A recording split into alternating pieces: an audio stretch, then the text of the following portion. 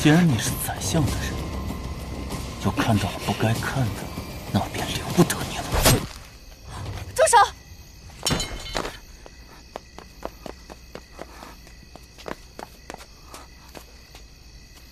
顾胜寒，你就是个杀人不眨眼的魔鬼，她就是我的一个小婢女。你有什么事情，你可以冲着我来。我是什么样的人，你现在才知道吗？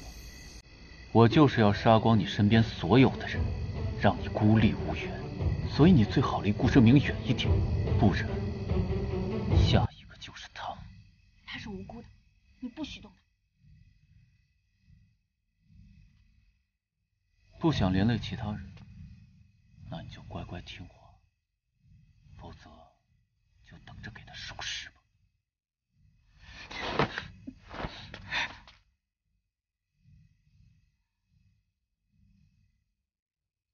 若是不想暴露身份，你这些医术和毒术的小把戏，统统给我收起来。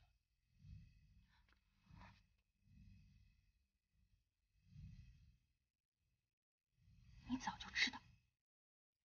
自从你入府以来，你做的所有事我都知道。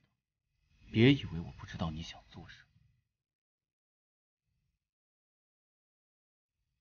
你如此嗜血残暴，杀你千遍万遍都不足为惜。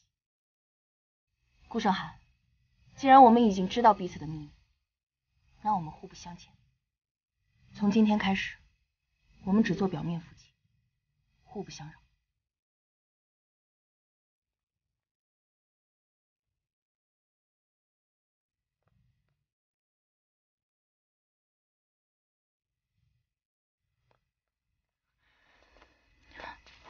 青青，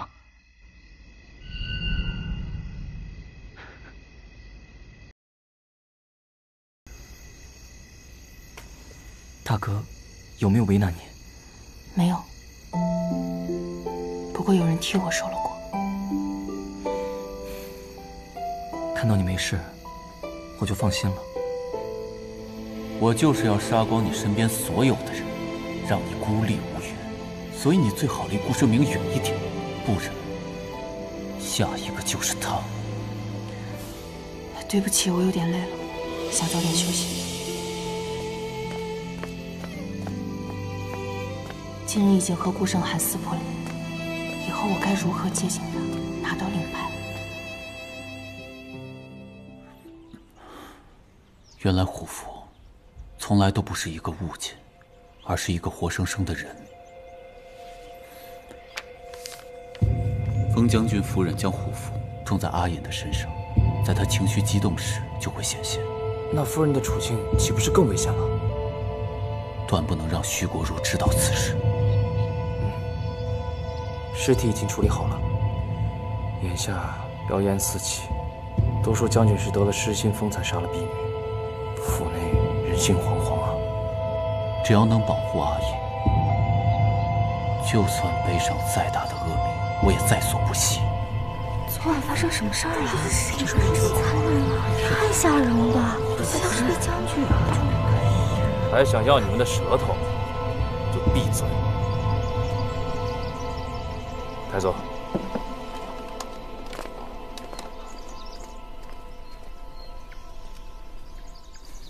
我一定要尽快找到令牌，除掉顾胜寒，不然还会有更多无辜的人受牵连。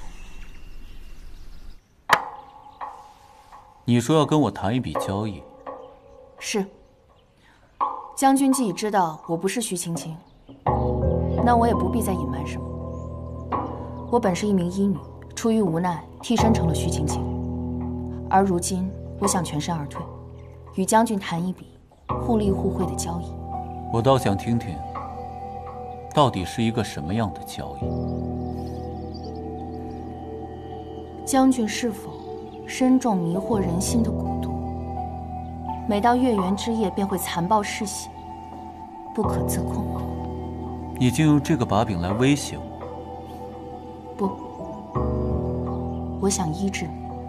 我机缘巧合下拜毒儿娘为师，我不仅懂得医术，我更擅长解毒。我有信心，可以替你解开蛊毒。是吗？